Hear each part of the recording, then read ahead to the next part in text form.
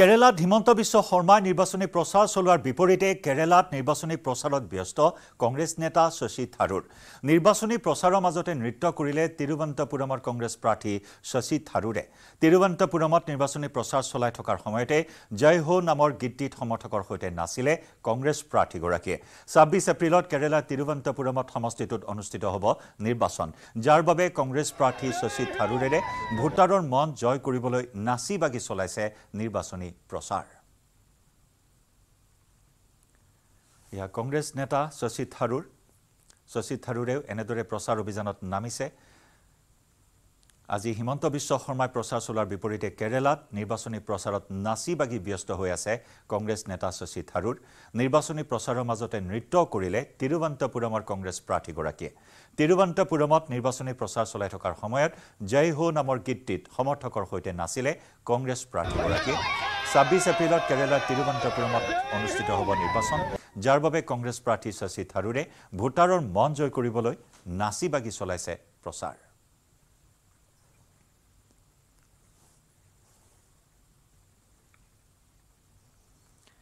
দেশত লোকসভা নিৰ্বাচনৰ মাজতে দেশ সুৰক্ষাৰ বাবে চিয়াচেনত নিয়োজিত সেনা জোৱানসকলৰ কাষত উপস্থিত হয় কেন্দ্ৰীয় মন্ত্ৰী ৰাজনাথ সিং।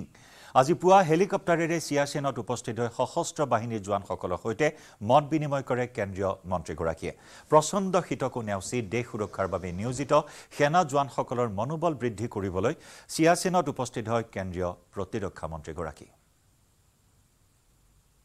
विश्व के सबसे ऊंचे रण क्षेत्र में सियाचिन ग्लेशियर पर हिमालय जैसे ही अडिग होकर आप जिस तरीके से देश की सुरक्षा कर रहे हैं उसके लिए मैं भारत का रक्षा मंत्री होते हुए आप सभी का अभिनंदन करता हूँ। साथियों, सियाचिन की धरती, यह कोई सामान्य धरती नहीं है। यह भारतीय राष्ट्रीय संप्रभुता और दृढ़ता का एक मूर्त प्रतीक है। यह हमारे नेशनल डिटर्मिनेशन को रिप्रेजेंट करता है। यह एक सुखद संयोग है। कि अभी पिछली 13 अप्रैल को ऑपरेशन मेघदूत के 40 साल पूरे हुए हैं। और 13 अप्रैल उन्नीस सौ चौरासी के दिन भारतीय सेना ने एक ऐसा सैन्य अभियान चलाया, जिसकी मिसाल आज दुनिया में दी जाती है। ऑपरेशन मेघदूत भारतीय सैन्य इतिहास का एक ऐसा स्वर्णिम अध्याय है, जो बीते चार दशक से एक एक भारतीय को रोमांचित कर रहा है। নিৰ্বাচনৰ বাবে কোকৰাঝাৰৰ পৰা গোলাঘাটলৈ অহা এজন আৰক্ষী কনিষ্টবলৰ মৃতদেহ উদ্ধাৰক লৈ সৃষ্টি হৈছে ৰহস্যৰ গোলাঘাটৰ পুলিবৰস্থিত আৰক্ষী নিৱেশৰ চৌহদত থকা এটা পুখুৰীত সোমবাৰে পুৱা উদ্ধাৰ হয় কনিষ্টবলজনৰ মৃতদেহ। ৰহস্যজনক অৱস্থাত উদ্ধাৰ হোৱা মৃতদেহটো কনিষ্টবল ৰাণা বীৰ চৌৰেনৰ বুলি চিনাক্ত কৰা হৈছে। প্ৰায় দুদিন ধৰি সন্ধানহীন হৈ থকা আৰক্ষী কনিষ্টবলজনৰ মৃতদেহ এইদৰে পুখুৰীত উপঙি থকা অৱস্থাত উদ্ধাৰ হোৱাক লৈ সৃষ্টি হৈছে তীব্ৰ চাঞ্চল্যৰ। ইতিমধ্যে কনিষ্টবলজনৰ মৃতদেহটো উদ্ধাৰ কৰি মৰণোত্তৰ পৰীক্ষাৰ বাবে গোলাঘাটৰ শ্বহীদ কুশল কোঁৱৰ অসামৰিক চিকিৎসালয়লৈ প্ৰেৰণ কৰি তদন্ত প্ৰক্ৰিয়া আৰম্ভ কৰিছে আৰক্ষীয়ে। অতি চাঞ্চল্যকৰ এটি ঘটনা এগৰাকী আৰক্ষী কনিষ্টবলৰ মৃতদেহ উদ্ধাৰ কৰা হৈছে। পুখুৰীত উপঙি থকা অৱস্থাত উদ্ধাৰ কৰা হৈছে। কোকৰাঝাৰৰ পৰা গোলাঘাটলৈ আহিছিল এইজন আৰক্ষী কনিষ্টবল গোলাঘাটৰ পুলিবৰস্থিত আৰক্ষী নিৱেশৰ চৌহদৰ এটা পুখুৰীত উদ্ধাৰ হয় সোমবাৰে পুৱাৰ ভাগত কনিষ্টবলজনৰ মৃতদেহ ৰহস্যজনক অৱস্থাত উদ্ধাৰ হোৱা মৃতদেহটো কনিষ্টবল ৰাণা বীৰ চৌৰেনৰ বুলি চিনাক্ত কৰা হৈছে। প্ৰায় দুদিন ধৰি সন্ধানহীন হৈ থকা কনিষ্টবলজনৰ মৃতদেহ এনেদৰে পুখুৰীত উপঙি থকা অৱস্থাত উদ্ধাৰ হোৱাক লৈ তীব্ৰ চাঞ্চল্য আৰু ৰহস্যৰ সৃষ্টি হৈছে। ইতিমধ্যে কনিষ্টবলজনৰ মৃতদেহ উদ্ধাৰ কৰি মৰণোত্তৰ পৰীক্ষাৰ বাবে গোলাঘাটৰ শ্বহীদ কুশল কোঁৱৰ অসামৰিক চিকিৎসালয়লৈ প্ৰেৰণ কৰি তদন্ত প্ৰক্ৰিয়া অব্যাহত ৰাখিছে আৰক্ষীয়ে। আহা কোকৰাঝাৰ ডি এফৰ এজন লায়ক আছিলে তেওঁৰ নাম ৰাণাবীৰ চৰেন তো যোৱাকালি আমাৰ যেতিয়া আমাক তাৰে মেজৰে ফোন কৰিছিল তেওঁ একচুৱেলি কোকৰাঝাৰ পাৰ্টি ইয়াৰ পৰা গৈ দৰঙত যেতিয়া পালে তেতিয়া পাই কিনে তাতে যেতিয়া কালি আমাক ফোন কৰিলে ক'লে কি এজন মানুহ মিচিং হৈ আছে। তো মিচিং হওঁতে আজি আমি অলপ ৰেজিষ্টাৰী কৰোঁতে আজি মৰ্ণিং তেওঁৰ বডিটো ইয়াতে পোৱা গৈছে। এতিয়া আহি এতিয়া বাকীখিনি ফৰ্মেলিটিবিলাক চাই আছোঁ। তো ইয়াতে মেজিষ্ট্ৰেটো আহিছে ইনকুৱেষ্ট হৈ গ'ল। বাকী ফৰ্মেলিটিবিলাক কৰি আছোঁ। এতিয়ালৈ একো দেখা নাই। তেওঁ বাকীখিনি চাই আছোঁ এতিয়া জনাব গোলাঘাটৰ পৰা আমাৰ সাংবাদিক ইউনিছ আলীৰ সৈতে সংযুক্ত হৈছোঁ আমি পোনপটীয়া সম্প্ৰচাৰত। ইউনিছ আপোনাৰ পৰা জানিব বিচাৰিম কেনেদৰে এই কনিষ্টবলজৰা কনিষ্টবলগৰাকীয়ে মৃত্যুক সাৱটি ল'বলগীয়া হ'ল? এয়া স্বাভাৱিক মৃত্যু নে অস্বাভাৱিক মৃত্যু? কি তথ্য এই মুহূৰ্তত লাভ কৰিছে আৰক্ষীয়ে প্ৰাথমিক তদন্তত? হয় যেনে ক'ব লাগিব যিহেতু গোলাঘাট পুলিবৰ আৰক্ষী যিটো নিৰ্বাচী আছিলে তাতে কোকৰাঝাৰৰ পৰা এজন যি ইলেকশ্যনৰ ইলেকশ্যনৰ কাৰণে যিজন আহ, আহিছি আহিছিলে যিজন আৰক্ষী জোৱান তেওঁ ইতি- ইতিমধ্যে তেওঁ এটা পুখুৰীত পৰি মৃতদেহ উদ্ধাৰ হৈছে। আৰু ক'ব লাগিব যিহেতু তেওঁ যিটো আৰক্ষী নিৱেশত আছিলে বা কেনেধৰণে মৃত্যু হ'ল কি কাৰণত পুখুৰীত পৰি মৃত্যু পুখুৰীত পৰিলে বা কেনে কি হ'ল ইতিমধ্যে গম পোৱা যোৱা নাই। আৰু এটা কথা ক'ব লাগিব যিহেতু আৰক্ষী জোৱানজন আহ, কোকৰাঝাৰৰ পৰা তেওঁ যিটো নিৰ্বাচনৰ যিটো ডিউটি আছিলে ডিউটিৰ পৰা ডিউটিৰ কাৰণে তেওঁ গোলাঘাট আহা গোলাঘাটলৈ আহিছিলে। আৰু কি কাৰণত তেওঁ কেনেধৰণে মৃত্যু হ'ল ইতিমধ্যে আৰক্ষীয়ে তদন্ত কৰি আছে। তদন্ত কৰাৰ পাছতহে সঠিক তথ্য জানিব পৰা যাব। জয়ন্ত। সতীৰ্থসকলে কেনেকুৱা ধৰণৰ মন্তব্য কৰিছে এই বিষয়টোত? কাৰণ দুদিন ধৰি সন্ধানহীন হৈ আছে নিৰ্বাচনী দায়িত্বত কোকৰাঝাৰৰ পৰা তেওঁ গৈছিল। সতীৰ্থসকলে কি কথা প্ৰকাশ কৰিছে? কাৰোবাক আটক কৰিছে আৰক্ষীয়ে এই সন্দৰ্ভত সোধা পোছা কৰিবলৈ যিহেতু ক'ব লাগিব জয়ন্ত যিসকল সতীৰ্থ তেওঁলোকত আহিছে তেওঁলোকে ইতিমধ্যে গোলাঘাটৰ পৰা যেতিয়া তেওঁলোকৰ ৰাওনা হ'ল ৰাওনা হৈ যোৱাৰ পাছত তেওঁলোকে গম পায় যে এজন আৰক্ষী জোৱান তেওঁলোকৰ পৰা নিখোজ হৈ আছে। তাৰ পাছত যেতিয়া আৰক্ষী আহ, মানে তেওঁলোকে জনাইছিলে গোলাঘাটৰ আৰক্ষীক তাৰ পাছতে আজি তেওঁ যিটো মৃতদেহ মৃতদেহ উদ্ধাৰ হৈছে আৰু যি তেওঁলোকৰ যিসকল আহিছিলে তেওঁলোকে ইতিমধ্যে গম পোৱা নাই কেনেধৰণে মৃত্যু হ'ল সেই জোৱানজনৰ। হয়। ইউনুছ ধন্যবাদ জনাইছোঁ আপোনাক দৃষ্টি ৰাখিব। আমি পৰৱৰ্তী সময়ত পুনৰ সংযুক্ত হ'ম অধিক খবৰ লাভ কৰিম।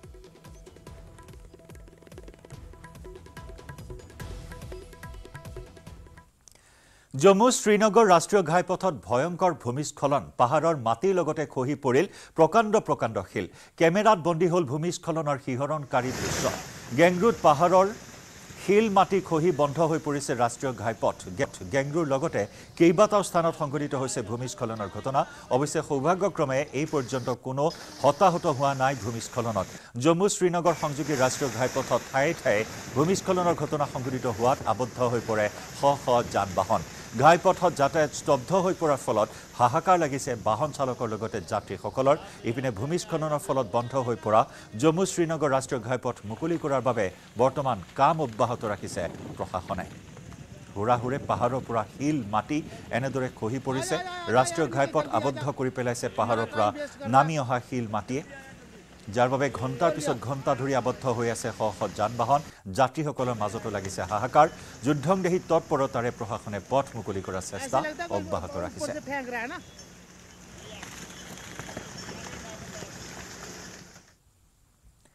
দুপৰৰ সংবাদত লৈছো আন এটি চমু বাণিজ্যিক বিৰতি। ভাৰতৰ গৌৰৱ গোটেই বিশ্বতেই ইয়াৰ সন্মান। ষ্ট্ৰং মানে মাইথান ষ্টীল।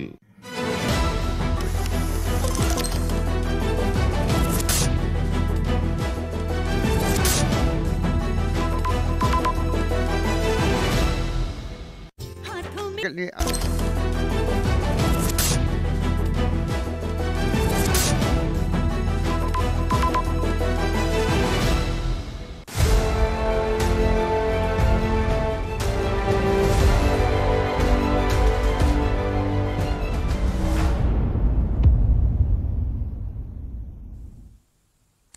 ইনাৰ মণিপুৰ লোকসভা সমষ্টিৰ এঘাৰটা বুথত আজি পুনৰ ভোটগ্ৰহণ। ঊনৈছ এপ্ৰিলত অনুষ্ঠিত ভোটগ্ৰহণৰ সময়ত সংঘটিত হিংসাত্মক ঘটনাৰ বাবে পাঁচটা বিধানসভা সমষ্টিৰ এঘাৰটা ভোট কেন্দ্ৰত পুনৰ অনুষ্ঠিত হৈছে ভোট। খুৰাই বিধানসভা সমষ্টিৰ দুটা ভোট কেন্দ্ৰ খেত্ৰীগাঁও বিধানসভা সমষ্টিৰ চাৰিটা ভোট কেন্দ্ৰ উৰিপক বিধানসভা সমষ্টিৰ তিনিটা ভোট কেন্দ্ৰ কনথৌজাম আৰু খংবাম বিধানসভা সমষ্টিত এটাকৈ ভোট কেন্দ্ৰত অনুষ্ঠিত হৈছে পুনৰ ভোটগ্ৰহণ ঊনৈছ এপ্ৰিলত বাসত্তৰ শতাংশ ভোটগ্ৰহণ হোৱা ইনাৰ মণিপুৰক জোকাৰি গৈছিল ব্যাপক নিৰ্বাচনী হিংসাই।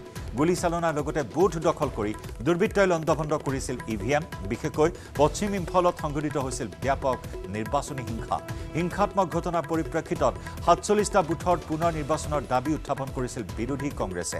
কিন্তু আজি অনুষ্ঠিত হৈছে এঘাৰটা ভোট কেন্দ্ৰত পুনৰ ভোটগ্ৰহণ কটকটীয়া নিৰাপত্তাৰ মাজেৰে আৰক্ষী সেনাবাহিনী অৰ্ধ সামৰিক বাহিনী মোতায়েন কৰি আজি পুৱা সাত বজাৰ পৰা পুনৰ আৰম্ভ কৰা হৈছে ভোটগ্ৰহণ প্ৰক্ৰিয়া।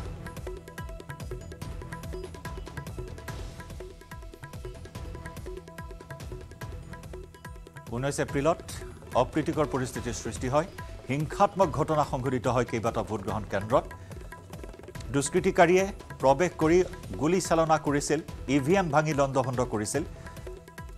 ভোটকেন্দ্ৰৰ আচবাব ভাঙি চুৰমাৰ কৰিছিল দুষ্কৃতিকাৰীয়ে। দুষ্কৃতিকাৰীক প্ৰতিহত কৰিবৰ বাবে নিৰাপত্তাৰক্ষীয়ে ধাৰাসাৰ গুলীচালনা কৰিছিল। দুষ্কৃতিকাৰী আৰক্ষীৰ গুলীচালনাত আহত হৈছিল তিনিজনকৈ লোক। আনহাতে কেইবাটাও ভোটগ্ৰহণ কেন্দ্ৰত বিক্ষিপ্ত ঘটনা সংঘটিত হয় আৰু যাৰ বাবে বিৰোধী কংগ্ৰেছে সাতচল্লিছটা বুথত পুনৰ ভোটগ্ৰহণৰ দাবী উত্থাপন কৰিছে। সেইমৰ্মে আজি এঘাৰটা বুথত পুৱা সাত বজাৰ পৰা কটকটীয়া নিৰাপত্তাৰ মাজত চলি আছে ভোটদান প্ৰক্ৰিয়া।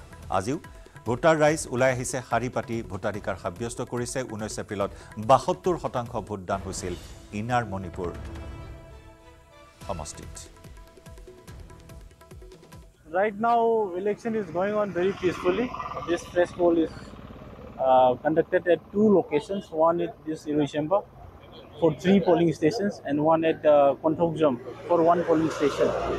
So, in all the polling stations, we have deployed central uh, paramilitary forces, two two company each. Apart from that, a large number of uh, state police have been deployed. Every polling station is assigned to one gazetted officer and under him one inspector is there. Besides that, we are deploying 10 unarmed personnel in every polling station. इस वक्त मैं एक polling station में है जहाँ repolling चल रही है ये ज़रूरी है कि याद रखा जाए कि रिपोलिंग अप्रैल 19 के असली वोटिंग दिन में हुए दुर्भाग्यों घटनाओं के कारण आई है इन घटनाओं के बाद चीफ इलेक्ट्रल ऑफिसर ने इम्फाल ईस्ट और Imphal west inner Manipur parliamentary constituency के इलेवन वोटिंग स्टेशन में रिपोलिंग का निर्देश दिया है। अ, पहले वोटिंग दिन के दुर्भाग्यों घटनाओं के बावजूद मतदान करने वाले अब नए उत्साह के साथ लौट आए हैं अपने लोकतंत्र अधिकारी का इस्तेमाल करने के लिए। यहाँ पर मणिपुर पुलिस और सेंट्रल फोर्सेस को रखा गया है कि ताकि यहाँ पर कोई अनचाहे घटना ना हो। इम्फाल से न्यूज़ के लिए अंतिम विश्वजीत मैते ভাৰতৰ গৌৰৱ গোটেই বিশ্বতেই ইয়াৰ সন্মান। ষ্ট্ৰং মানে মাইথান ষ্টীল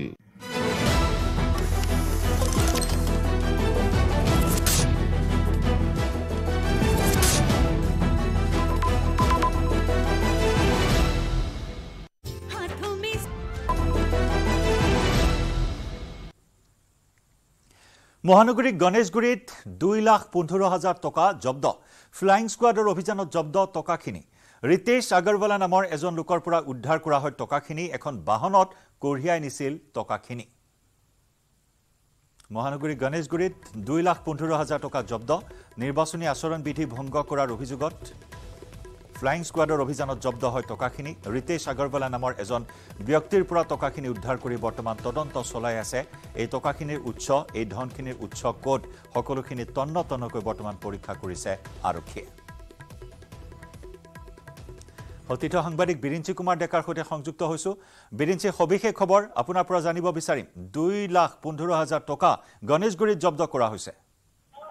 নিশ্চয় জ- জয়ন্তজী আচলতে নিৰ্বাচনৰ দিন দ্বিতীয় দ্বিতীয় আৰু তৃতীয় পৰ্যায়ৰ নিৰ্বাচনৰ দিন যেতিয়া চমু চাপি আহিছে এতিয়া ফ্লাইং স্কোৱাডে আচলতে বিভিন্ন স্থানত মহানগৰীৰ বিভিন্ন স্থানত এনেধৰণৰ চেকিং আচলতে বঢ়াইছিল আৰু আহ, দুপৰীয়া ভাগত গণেশগুৰি যি উৰণীয়া সেতু আছে উৰণীয়া সেতুৰ তলত আচলতে এনেধৰণৰ এটা তেওঁলোকে ফ্লাইং স্কোৱাডে এটা তথ্য পাইছিল যে এজন লোকে আচলতে এখন ভেনু বাহনত কিছু টকা লৈ সেই আহি আছিল আৰু আহি থকা অৱস্থাত যেতিয়া আৰক্ষী সেই ফ্লাইং স্কোৱাডৰ দলটোৱে যেতিয়া তাত নিৰীক্ষণ কৰে আৰু সেই দুই লাখ পোন্ধৰ হাজাৰ টকা সেই গাড়ীখনৰ পৰা জব্দ কৰিছে আৰু ৰিতেশ আগৱালা নামৰ যিজন ব্যক্তি তেওঁ আচলতে টকাখিনি কলৈ আনিছিল কি কথা এই মুহূৰ্তলৈকে তেওঁ সঠিক উত্তৰ দিব পৰা নাই আৰু তেওঁক এটা কথা কোৱা নিৰ্দেশ দিছে আৰক্ষীয়ে যে তেওঁ টকাখিনি আহ, কাৰলৈ আনিছিল কাৰ নামত আনিছিল বা তেওঁ বেংকৰ পৰা উলিয়াই আনিছিল নে ক'ত জমা দিব সেই সকলোখিনি তথ্য জমা দিবলৈ দিছে আৰু যদি সেই টকাখিনি যদি আচলতে তেওঁ ইলেকশ্যনৰ কামত আনিছিল নেকি সেইটো সন্দেহ প্ৰকাশ কৰা হৈছে। কিন্তু এই মুহূৰ্তত সেই কথাখিনি আচলতে আৰক্ষী ফ্লাইং স্কোৱাড আচলতে নিশ্চিত হোৱা নাই। তেওঁ সেই টকাখিনি প্ৰকৃততে ব্যৱসায়িক সংক্ৰান্তত আনিছিল নে নিৰ্বাচন সংক্ৰান্তীয় কোনো লোকক আচলতে দিব আহিছিল সেই কথা এতিয়ালৈকে স্পষ্ট হোৱা নাই। যেতিয়া ৰিতেশ আগৰৱালাই নথি পত্ৰসমূহ যেতিয়া দেখাব সেই টকাখিনি আচলতে উৎস কি তেওঁ ক'ৰ পৰা আনিছিল তেতিয়াহে আচলতে স্পষ্ট হ'ব। কিন্তু দেখা পোৱা গৈছে নিৰ্বাচনৰ প্ৰাক মুহূৰ্তত আচলতে মহানগৰীত যথেষ্ট পৰিমাণে সক্ৰিয় হৈছে। ফ্লাইং স্কোৱাড বিভিন্ন স্থানত এনেধৰণে চেকিং বঢ়াই আছে। বহুত কেইবা লক্ষাধিক টকা আচলতে এই সময়ছোৱাত জব্দ হৈছে। আৰু ইয়াৰ মাজতে এইগৰাকী ৰিতেশ আগৰৱালা আজি ফ্লাইং স্কোৱাডৰ জালত পৰিছে। আৰু দেখা পোৱা গৈছে যে সেই দুই লাখ পোন্ধৰ হাজাৰ টকাৰ সন্দৰ্ভত তেওঁক আচলতে বহুকেইটা প্ৰশ্ন ফ্লাইং স্কোৱাডৰ যিগৰাকী বিষয় আছে তেওঁক সুধিছিল কিন্তু তেওঁ আচলতে তাৰ কোনো ধৰণৰ আহ, প্ৰকৃত আচলতে উত্তৰ দিব পৰা নাছিল যাৰ বাবে সেই টকাখিনি এই মুহূৰ্তত জব্দ কৰি ৰাখি থৈছে আৰু পৰৱৰ্তী সময়ত যদি ব্যক্তিজনে সেই সকলোখিনি টকাৰ উৎস যদি দিব নোৱাৰে সেই নিশ্চয় এটা নিশ্চিত হ'ব যে সেয়া নিৰ্বাচনৰ বাবে কোনো লোকক আচলতে সহায় কৰিবলৈ আহিছিল এগৰাকী ব্যক্তিয়ে গতিকে সেইখিনি কথা পৰৱৰ্তী সময়ত স্পষ্ট হ'ব। নিশ্চয়। ধন্যবাদ বীৰেন সিং।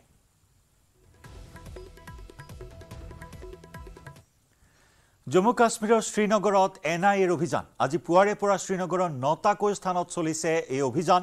সন্ত্ৰাসবাদী কাৰ্যকলাপৰ সৈতে জড়িত থকাৰ গোচৰত শ্ৰীনগৰৰ নটা স্থানত ৰাষ্ট্ৰীয় অনুসন্ধান সংস্থাই চলাইছে এই অভিযান। ৰাষ্ট্ৰীয় অনুসন্ধান কাৰ্যধানকাৰী সংস্থাৰ এক বৃহৎ অভিযান। শ্ৰীনগৰৰ নটাকৈ স্থানত অভিযান চলোৱা হৈছে। সন্ত্ৰাসবাদী কাৰ্যকলাপৰ সৈতে জড়িত থকাৰ গোচৰত শ্ৰীনগৰৰ নটাকৈ স্থানত অভিযান চলাইছে নেশ্যনেল ইনভেষ্টিগেশ্যন এজেঞ্চিয়ে।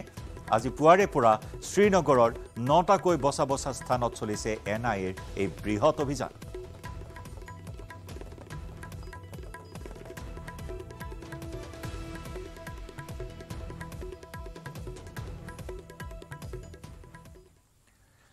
উত্তৰ প্ৰদেশৰ নয়ডা ছেক্টৰ পঞ্চাছৰ এখন উদ্যানত ভয়ংকৰ অগ্নিকাণ্ড।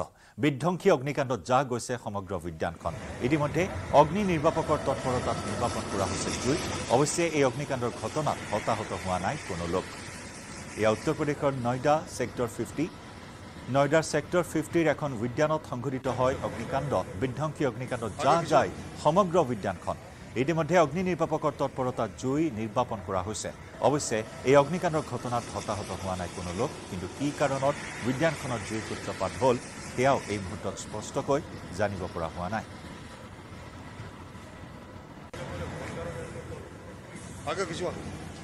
ইফালে মহাৰাষ্ট্ৰৰ পুনেৰ ৰবিবাৰ পেট অঞ্চলত ভয়ংকৰ অগ্নিকাণ্ড। আজি পুৱাত এটা তিনিমহলীয়া অট্টালিকাৰ তলৰ মহলাৰ এখন গেলামালৰ দোকানত লাগিল জুই। পাছত অগ্নি নিৰ্বাপকৰ এটা দলে তিনিখন অগ্নি নিৰ্বাপক বাহিনীৰ বাহনেৰে নিৰ্বাপন কৰে জুই। অৱশ্যে এই অগ্নিকাণ্ডৰ ঘটনাত হতাহত হোৱা নাই কোনো লোক। এটা তিনিমহলীয়া অট্টালিকাৰ তলত থকা এখন গেলামালৰ দোকানৰ পৰা জুইৰ সূত্ৰপাত জুই ধোঁৱা ক'লা ধোঁৱাই চানি ধৰে সমগ্ৰ অট্টালিকা আকাশ বতাহ। তিনিখনকৈ অগ্নি নিৰ্বাপক বাহিনীৰ বাহনে অহৰহ চেষ্টা চলাই জুই নিৰ্বাপন কৰিবলৈ সক্ষম হয়। সৌভাগ্যবশতঃ কোনো লোক হতাহত হোৱা নাই এই অগ্নিকাণ্ডত।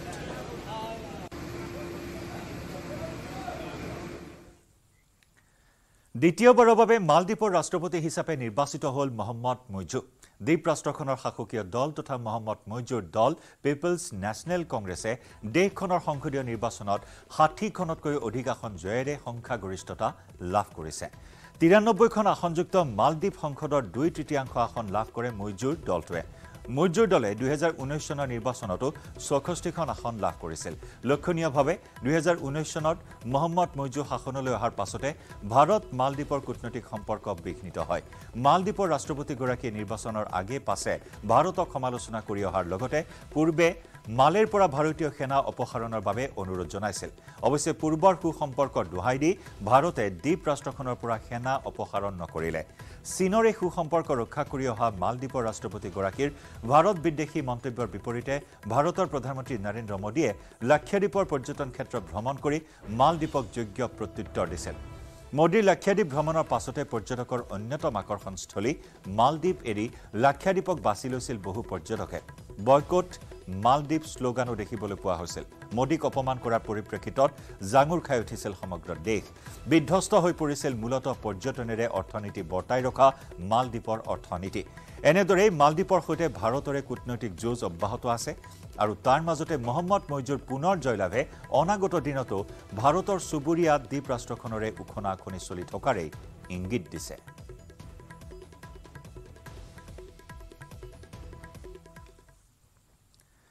নিৰ্বাচনৰ সময়ত অত্যধিক লৈ চিন্তিত নিৰ্বাচন আয়োগ দেশৰ ভিন্ন প্ৰান্তত বৰ্ধিত তাপমাত্ৰা সন্দৰ্ভত আয়োগৰ এক বৈঠক নিৰ্বাচনৰ সময়ত কেনেদৰে প্ৰশমিত কৰিব পৰা যাব তাপমাত্ৰা তাপমাত্ৰাই ঘটাব পৰা বিঘিনি কেনেদৰে প্ৰশমিত কৰিব পৰা যাব সেই সন্দৰ্ভত আলোচনা কৰা হয় এই বৈঠকখনত। আজি পুৱা বৈঠকত মিলিত হয় নিৰ্বাচন আয়োগ।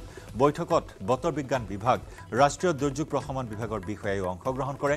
বৈঠকত উপস্থিত থাকে স্বাস্থ্য আৰু পৰিয়াল কল্যাণ বিভাগৰ বিষয়ববীয়াসকলো ভোটগ্ৰহণৰ সময়ত ব্যৱস্থা গ্ৰহণ সন্দৰ্ভত আলোচনা কৰা হয় এই গুৰুত্বপূৰ্ণ বৈঠকত।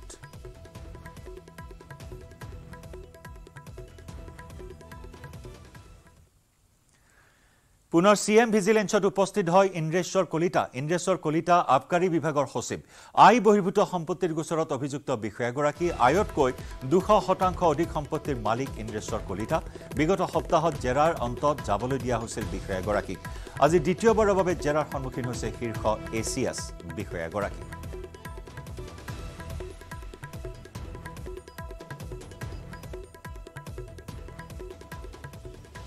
আয়তকৈ দুশ গুণেই বেছি ইন্দ্ৰেশ্বৰ কলিতাৰ সম্পত্তিৰ পৰিমাণ। আই বহিৰ্ভূত সম্পত্তিৰ বিৰুদ্ধে গোচৰ ৰুজু কৰা হৈছিল এইগৰাকী আই এছ বিষয়াৰ বিৰুদ্ধে। আজি পুনৰ চি এম ভিজিলেন্সত হাজিৰ হোৱাৰ নিৰ্দেশ দিয়া হৈছিল আৰু সেই মৰ্মে আজি চি এম ভিজিলেন্সত উপস্থিত হৈছে বিতৰ্কিত ইন্দ্ৰেশ্বৰ কলিতা।